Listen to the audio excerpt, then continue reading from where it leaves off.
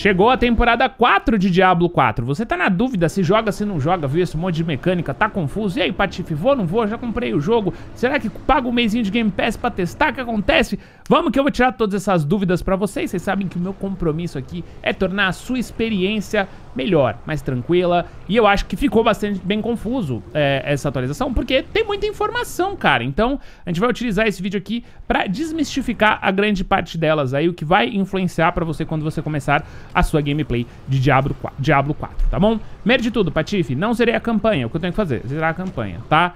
Patife, já zerei a campanha. Tenho que zerar de novo? Não.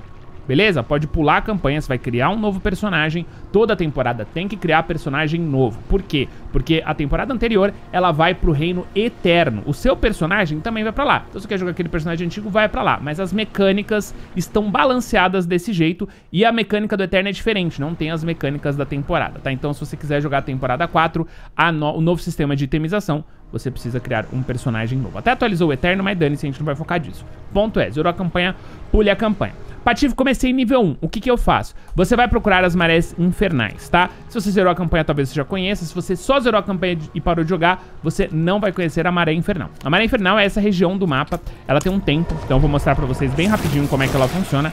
E a sua ideia é que... O que que acontece? Antigamente, Maré Infernal só liberava na dificuldade 3, tá? Eu já estou jogando na 4. Vocês vão ver que eu tô na 3 agora porque eu tava fazendo masmorra pesadelo. Ignorem todas as informações. É só pra te confundir mesmo. Mas o que que é a Maré Infernal ou o Hell Tides? É um momento, né? Um tempo. Esse lugar aqui, ó. Durante esse tempo, ó. Entrei, então tem mais 6 minutos de Maré Infernal aqui. Desde o nível 1 você vai vir pra cá. Aqui o bagulho é uma loucura, tá? Como o próprio nome diz, é uma maré infernal. Olha o caos que é isso aqui. É inimigo pra todo lado. Você tem que sair matando, fazendo missões e tudo mais, tá? Patife, por que que você faz isso? Resumão da ópera, tá? Eu vou fazer aqui muito resumão só pra vocês entenderem esse conceito. Esse, esse aqui é excelente pra upar. Você vai ganhar muito XP.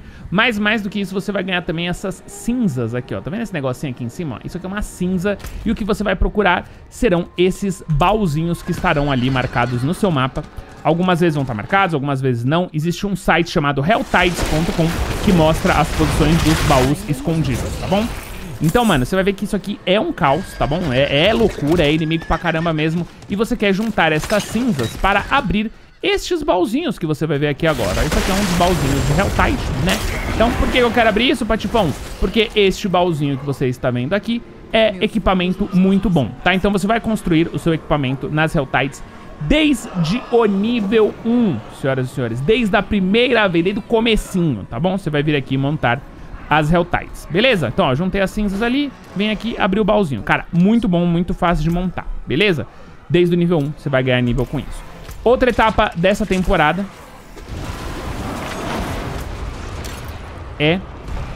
Calma aí. Uh, aqui. É, outra coisa que veio com a temporada, de novo, lembrando, a temporada é grátis, somente estão à venda produtos cosméticos. Começa a minha roupinha aí. Olha essa maga, que coisa linda, né? Essa roupinha aí eu comprei, ela sobrou um dinheirinho.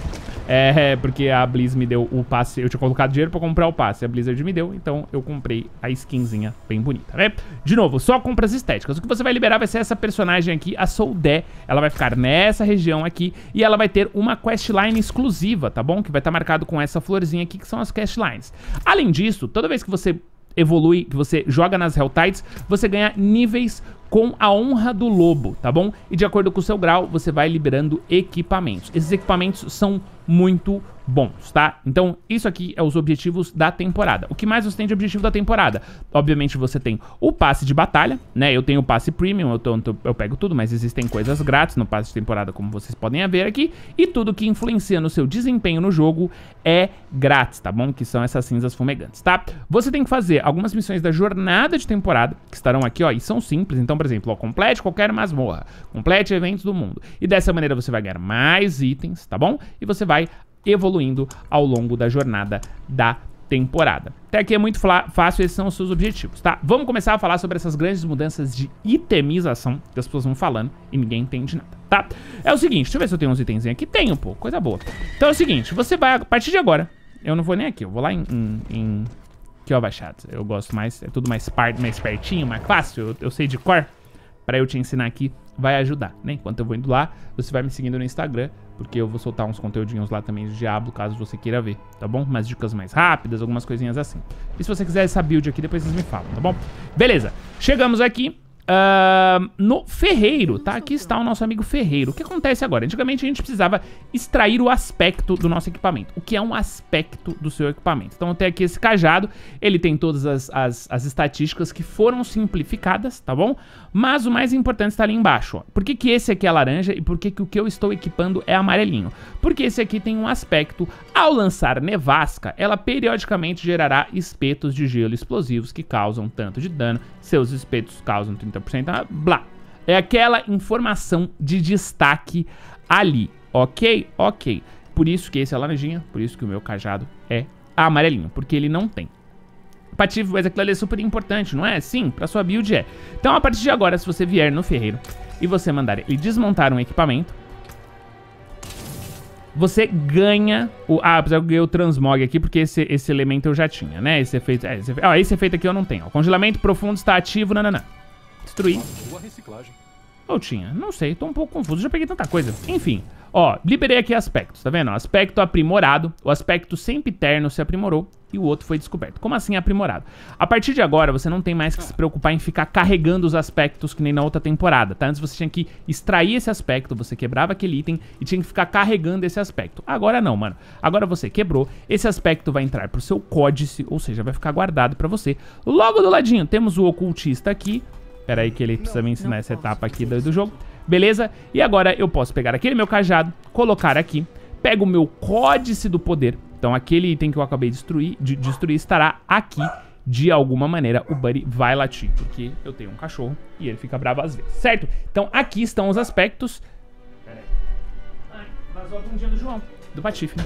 É, aqui estão os aspectos, certo? Você vai pegar esse aspecto e você vai poder simplesmente colocar. Então, por exemplo, aqui tem o... Esse aqui eu já tenho. Eu quero pegar o da conflagração. Ao canalizar e incinerar, meu dano flamejante aumenta em 35%, inimigos recebem, blá, blá, blá.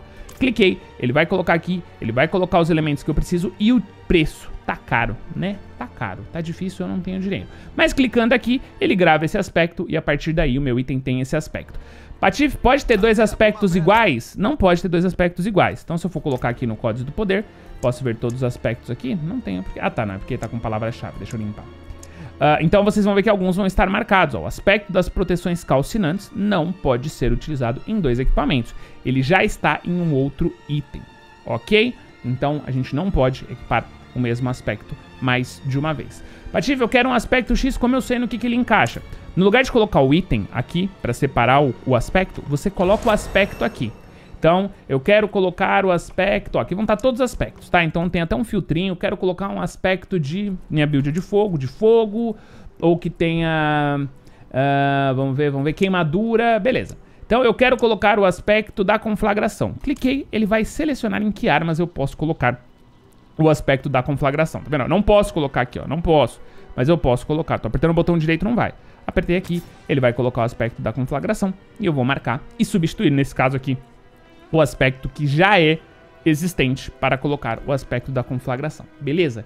Isso aqui é o primeiro, o primeiro negócio mais básico que você vai fazer. É a questão dos aspectos que ficou mais simplificada. E você consegue trazer características das armas à vontade, sem se preocupar, sem ter que fazer gestão de inventário chato, tudo mais, tá bom? Beleza. Passo número 2. Ao longo que você for jogando, né? Esse foi o aspecto. A gente vai falar agora sobre a têmpera, né? Aqui, nosso amigo Ferreiro, de novo, vocês veem tudo pertinho, né? O nosso amigo Ferreiro agora tem essa abinha aqui em cima chamada têmpera, tá? Clicando em têmpera, a gente tem aqui isso aqui é uma receita que você vai ganhar, vai ser um pergaminho que vai ficar aqui. Eu fui burro, eu não separei nenhum pra mostrar no vídeo, mas é um pergaminhozinho. Você vai usar ele e você vai liberar as características de têmpera aqui. Então, mais uma vez, vou clicar aqui em ataque. Ataque eu tenho o refinamento da piromancia. Então ali vai cair tudo que pode cair. Eu posso ganhar de 31 a 45% de dano de fogo. Eu posso ganhar 47 a 65% de dano de fogo ao longo do tempo. Tá ali tudo que pode cair. Cliquei aqui no refinamento, ele já vai mostrar as armas que cabem naquele refinamento. Olha que coisa linda, tá? De novo, não dá pra clicar, ó, botão direito aqui, mas posso clicar aqui, certo? E aí você vai ter o preço para colocar algum desses elementos aqui. Uh, nesse caso aqui tá perfeito, tá? Porque, olha, percebam que a minha gargantilha ali de sangue, né? Que vocês estão vendo aqui. Ela dá resistência a todos os elementos. Ela dá 511 de vida máxima. Ela dá 6% de chance de acerto crítico. Ela dá 4,2% de redução de custo de recurso. E ela tem um aspecto. Percebam que entre o aspecto e, e entre o 4,2% de redução de custo de recursos, não tem nada, tá? Cliquei, escolhi, temperei, vral. Vai ter uma animaçãozinha. Bang! 61% de dano de maestria. Fechei. A partir de agora, entrou mais um, mais um elementinho ali na lista, tá vendo? Agora, entre o que era redução de custos de recursos e o aspecto, entrou uma bigorminha ali, 61% de dano de maestria. Putz, não é o que eu queria, bicho. Eu queria o refinamento de piromancia, mas eu não queria que ele desse bem o dano de maestria. Eu queria que talvez ele desse o dano de acerto de piromancia. Vral, redefinição. Martelou. Pode pular, eu não pulo, é legal. 61% de dano de fogo ao longo do tempo. Então, mudou aquele negocinho. Fechou? Simples, prático e rápido, eu a garanto. Agora vamos aqui, ó. Um de defesa. Val, ah, eu quero esse aqui de defesa, ó. Quero vida máxima, não. Temperei. Brau. Agora eu tenho 14% de armadura total, certo? Mais uma característica foi inserida nesse item. Pica, né? E aí daqui a um tempo vai ter maximização. Mas eu ainda não liberei. Eu tenho que liberar uma quest, fazer esse negócio de maximização. E resumidamente vai entrar aqueles pontinhos e a gente vai upar o nível desses aspectos que agora estamos colocando nos nossos equipamentos. Certo, simples, fácil e rápido. Eu garanto para você que você não vai ter dor de cabeça com essa brincadeira se você fizer etapa por etapa, tá bom? Isso aqui é o mais importante que você precisa aprender do jogo. Agora é jogar e grindar tá? O pessoal da live sempre me ajuda muito, então se você quiser ficar de olho nas lives é muito bom, a galera sempre me dá dicas, sempre tem pessoas que jogam muito bem os jogos e que vão sempre me atualizando. O que eu faço aqui é comprimir tudo, é gastar, pô, o negócio que eu demorei 4, 5 horas pra aprender, eu trago pra vocês em 20, 30 minutinhos, que nem é esse vídeo aqui, certo? Deu 11 minutos, pouquinho tempo, coisa rápida, coisa prática, eu garanto pra vocês, desse jeito você vai poder brincar tranquilamente no Diablo nessa temporada 4. Eu estou amando esse sistema de itemização, ele é simples, ele é rápido, eu tô com, sei lá, 6, 7 horinhas de jogo, já tô aí nível 56. É, já liberei 4 níveis de dificuldades porque as builds estão fortes. Inclusive, essa minha build aqui está muito divertida. Então, caso você queira que eu faça um vídeo sobre essa build do Mago de Fogo, eu já acho que eu vou fazer de todo jeito. Mas não custa você me incentivar deixando seu like aí e um comentário. Patife mostra a build, que eu vou saber que você chegou até aqui, você entendeu as mecânicas básicas do game. A gente já tem outra área aqui, ó. A gente já tá em outra área, tá bom? É, outra coisa, tá? Uma dica sobre aqui, a... antes que eu me esqueça, né? Deixa eu fazer o TPzinho aqui. Sobre as marés infernais, tá bom? Qual que é a melhor maneira de você jogar? Você tem que combar a maré infernal com a árvore de sussurros, tá ligado? A árvore de sussurros consegue. Se você ainda não sabe o que é a árvore de sussurros, socorro, né? A árvore de sussurros fica aqui embaixo, é excelente pra você ganhar XP e alguns loots interessantes. Vem pra essa área, ó, aqui ó, minha missão. É, eu preciso coletar 250 cinzas. Clica com o botão esquerdo, marquei, certo? E aí vou correr livremente por essa região para coletar 250 cinzas. Ao receber, ao finalizar essa missão, coletar essas 250 cinzas. Um, então, ó, já foi aqui, tudo geral. Não tá, não tá fechada a minha build ainda não, tá? Mas tá divertida. Isso eu posso garantir. Então peguei uma cinza ó. Peguei três cinzas já, tá vendo? Ó, três cinzas, três cinzas. Bateu 250, eu vou fazer aí três favores sombrios. Ao juntar 10 favores sombrios, você vai pra sua árvore e você pega uma caixinha de itens e mais XP. Não tem segredo, tá? O único outro detalhe que eu posso mostrar pra vocês, uh, eu teria que achar, tem umas cabecinhas da Lilith por aqui. Vamos ver se a gente acha alguma aqui rapidinho. Talvez eu ache rapidinho. Se você acha uma vez ela, você vai circular bastante, tá? Os objetivos ficam sempre marcadinhos no mapa menor, ó. Aqui, ó. Isso aqui é a cabecinha da Lilith, tá vendo? Esse aqui é o maior desafio que você tem dentro das Helltides, tá bom?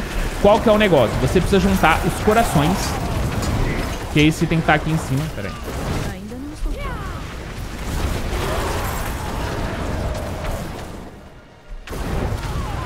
Você precisa juntar esses coraçõezinhos aqui, ó, e colocar o coração pernicioso aqui. São três. Fazer isso em galera é o melhor jeito, porque você vai ter um desafio muito difícil aqui, tá bom? Quer dizer, vai depender do seu nível, né? Uh, mas vai ter um desafio um tanto quanto desafiador aqui, mas vai te dar muitos itens, drops, objetivos e zás, tá bom? Então, é simples, é só você vir aqui e colocar os corações nesses três pedestais. vai rolar um super desafio muito divertido, tá? É aqui que o bagulho acontece, tá bom? Aqui nas masmorras pesadelo uh, e na árvore dos sussurros. E assim a gente vai construindo o nosso personagem. Fechou? Não falei só de maximização, mas eu acho que isso aqui já mostrei tudo. As quests dos lobos, já mostrei tudo. Certo? Se você gostou, deixa o seu like, se inscreve e pede aí a build se você quiser a build. Se você não quiser, eu inventei essa build aqui, não vim em site, final. Eu tô improvisando, então ela não tá perfeita. Mas se vocês pedirem, eu otimizo ela pra fazer um vídeo legal. É nóis, tamo junto, nos vemos na próxima, um beijo e tchau.